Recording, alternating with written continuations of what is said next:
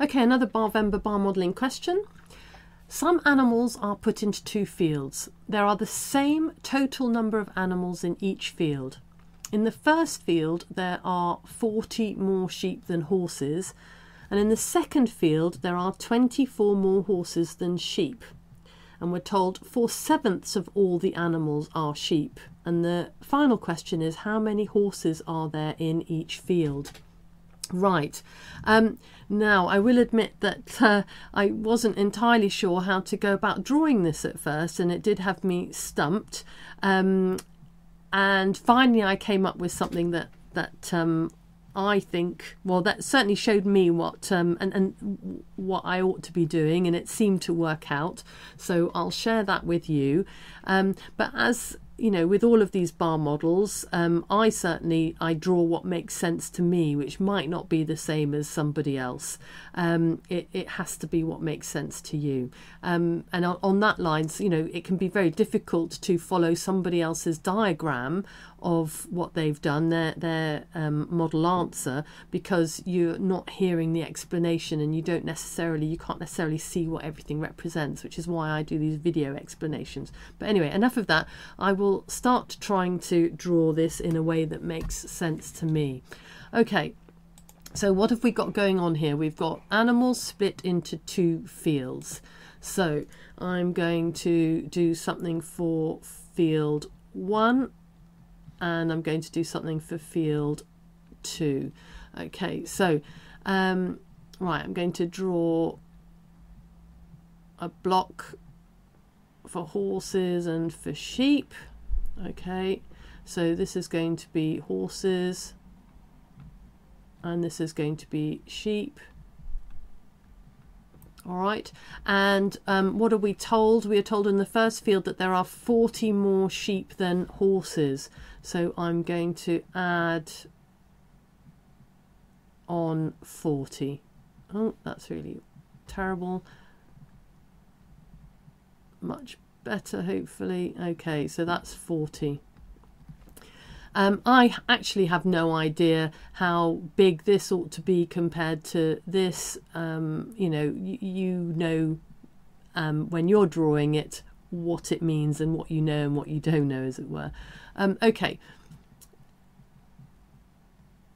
let's go on to field two. So we've got horses and we've got sheep.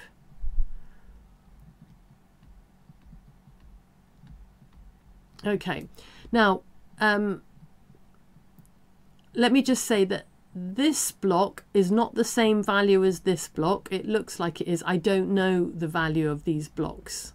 All right, all I know is this block is the same value as this block. This block is the same value as this block. Okay, now in the second field, um, there are 24 more horses than sheep. So I'm going to add on an amount for the sheep. It's, I'm going to make it this size because 24 is just over sort of half of the 40. So that's going to be 24. Okay, right, now what have I got? Well, what I think I have now is I'm comparing field one and field two, and I'm comparing the, the sheep to the horses, as I think I have a difference here. And the, okay, and this is gives me a difference between the sheep and the horses of 40 take away 24, which is 16. Okay, and why is that important? Well, because I'm I'm given some information here. I'm told that four sevenths of all the animals are sheep. So if four sevenths are sheep, then three sevenths, okay, must be horses. All right, and the difference is one seventh. Okay, which, and the difference here um, in animals is 16. So that's quite important. I now know that one seventh is equal to 16. All right, so that's important. Um, and, what I can do with that now is work out how many animals there are all together. So if I do um, 16 times 7 for 7 sevenths, okay, so that's um, 42. All right, and that's going to give me 11. All right, so the total number of animals, okay, let's do this. The total number of animals in both fields, okay, is um, 112. So that's the total number of animals in both fields. From that, then, I can work out um, how many animals there are in each field because we're told that there, there are the same total number of animals in each field.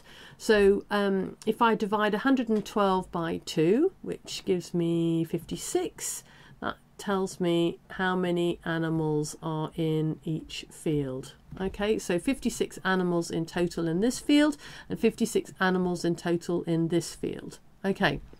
I hope you're with me so far. Right, where does that take me? Okay.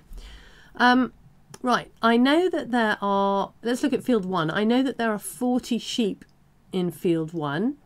Okay, and the remainder, so the difference between 40 and 56 must be split between horses and sheep. Okay, because that, that's these two are equal values all right? So um, 56 take away 40 is 16 okay so 56 take away 40 equals 16 and if I divide 16 by 2 that gives me 8 so there must be 8 horses here 8 sheep here 40 sheep here.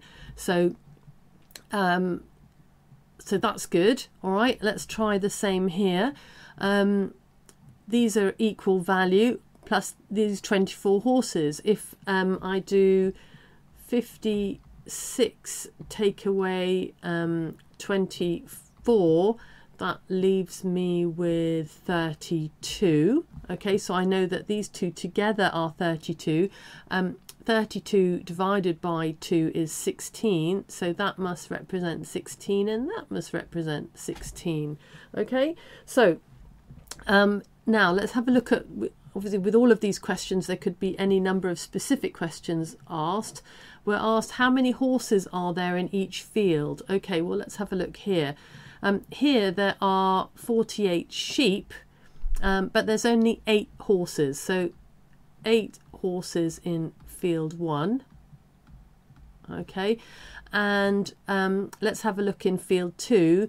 We've got um, 16, okay, add 24 um, horses, okay, which gives me 40. So there must be, I think there's 40 horses in field two which gives me, um, and I, I can check this, let's just check this, that gives me 48 horses, there's, I think there's 48 horses in total, okay, 8 in field 1, 40 in field 2, which is my, my question answered, but I'm just going to double check because I know that there are, um, that 3 sevenths of the total animals are horses. I know that 1 seventh is 16, so I'm just going to check by doing 16 um, times 3.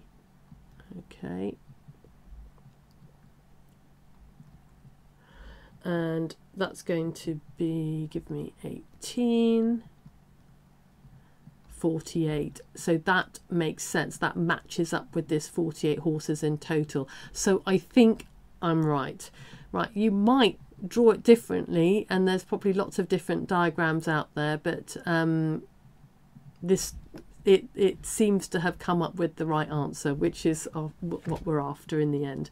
Okay thank you very much. Bye